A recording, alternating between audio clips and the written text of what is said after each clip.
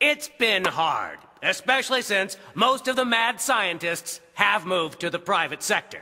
But we've got one! I'm not mad. I'm angry. I am an angry scientist. Yes, of course. Perhaps you could show us your mad weapon.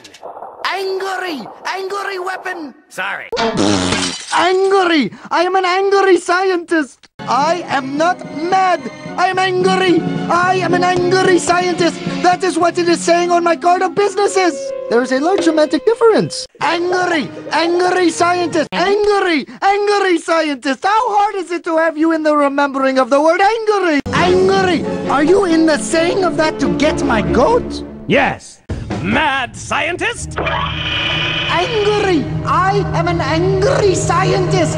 Why is it that you are always in the remembering of the scientist part, but not the angry? You are so weird, mad scientist. Angry. Ah. angry.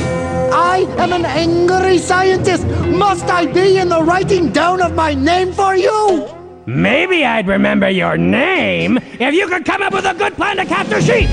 The mad scientist angry Angry scientist. Hey, for once and for all the other times, my naming is Angry Scientist. Angry, angry, angry, angry scientist. Can you be getting nothing right? Angry Scientist. It is not being hard to remember.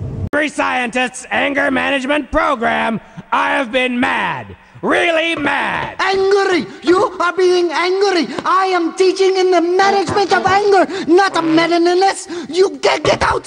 Angry scientist! Are you in the doing of not calling me by my right name as a practical jokingness? I, I am all the time telling you that I am an angry scientist! Day I am telling you! Night I am telling you! Angry! Angry! Angry! Angry! I am the angry scientist! That is my name! That is how I am calling of myself! You, you, annoying, annoying, little... Above the forgetting it. Well, thank you, mad scientist. Angry! That is angry scientist! Whatever.